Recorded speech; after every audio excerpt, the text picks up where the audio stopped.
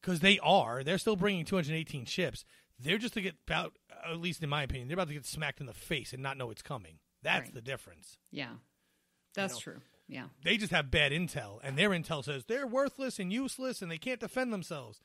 And in reality, we believe anyway, they have a big, big cannon that they don't know about because they're if they're banking on these flowers, they're screwed. Oh, yeah. No.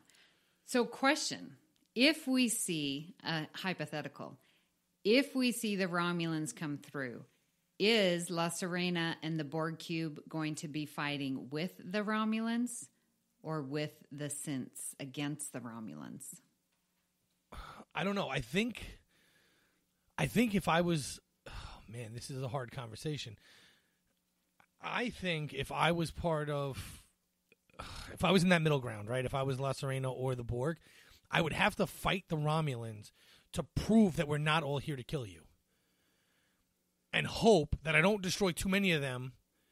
If you still turn on me, because I'm going to need them. If you still turn on me, but if I can kill enough of them, I can stop you from turning on me in the first place. Good answer. I like it. Yep. Yeah. Makes sense. It's like a really bad game of risk. Yeah. You It's know, a rock and a hard place. Yeah, well, basically, you have. I play Risk a lot. You you have the Romulans who have taken over Australia, right? And they're they're moving out of Australia. But then you have you have, or more importantly, they're in North and South America, and then you in maybe Europe by now, and you have the Synths. They're in Australia because it's tiny and small, and everyone thinks it's insignificant.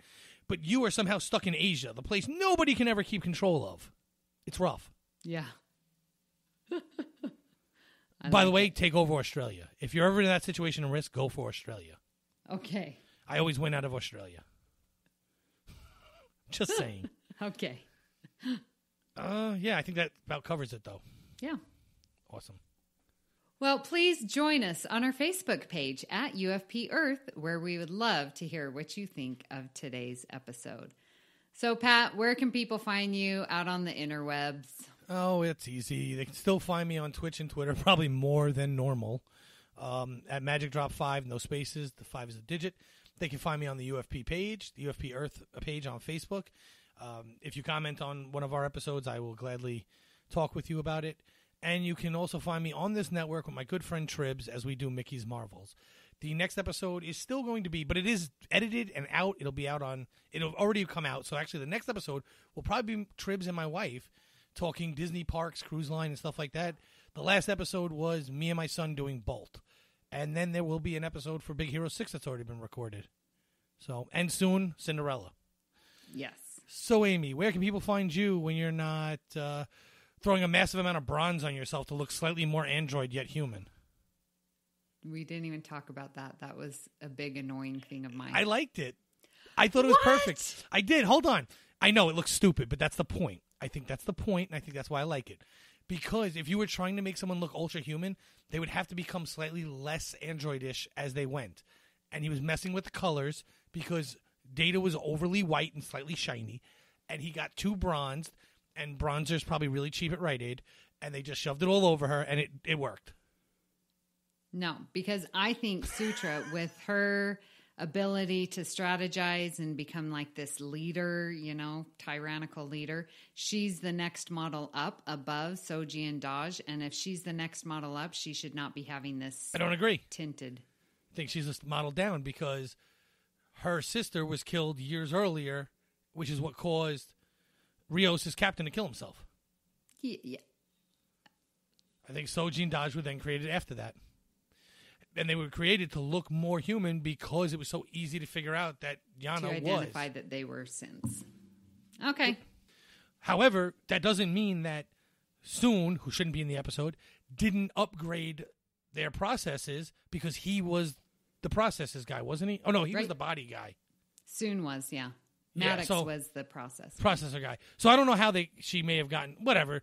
It could be that that Soji and Dahj can strategize that well. That's why they were so good at fighting. But they haven't been in a position to do what she's doing right now.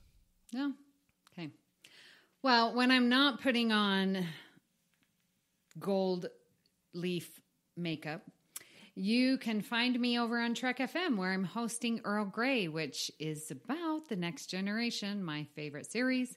And I do that with my good friend Joe Keegan.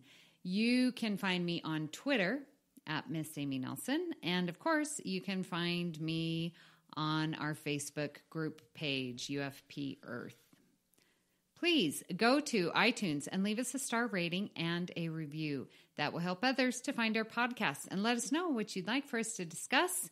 As the close of Picard, we are going to be really finding some new and exciting topics that might not necessarily have to do with Picard. So we would love to hear and are very open to your ideas. Yeah? Yeah. Sounds good. I got one last night, actually. I'll run it by Oh. you after this. Good. And listeners, don't forget we have our giveaway that's ending March 31st. So a couple more weeks for you to enter in for the Enterprise D Bluetooth speaker. Uh, so please leave us a review. We've loved getting what you have to say. A couple more entries uh, would be great. And at this time, we would like to thank the executive producers who make this all possible. They are Brandon Shea Mutala, Ken Tripp, Zach Moore, and Tony Robinson.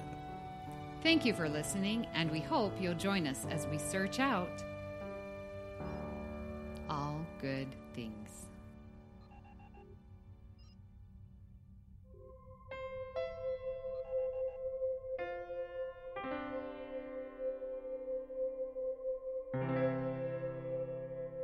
This has been a production of MTMR Media Works.